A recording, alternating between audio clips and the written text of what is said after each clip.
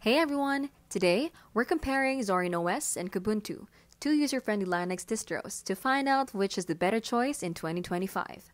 Let's start with Zorin OS, designed for newcomers, especially those switching from Windows or Mac OS. It's clean, elegant, and comes with a layout switcher so we can make it look and feel like Windows, Mac OS, or even Ubuntu. Zorin OS also includes a lot of pre-installed apps and codecs, making it ready to use right after installation. Next, Kubuntu, a KDE Plasma powered Ubuntu flavor. It's sleek, fast, and highly customizable, letting us change almost every visual element. Being based on Ubuntu, it's stable, well supported, and great for both casual and advanced users. When it comes to performance, Zorin OS is smooth on modern hardware, while Kubuntu can be tweaked to run efficiently on a wide range of systems.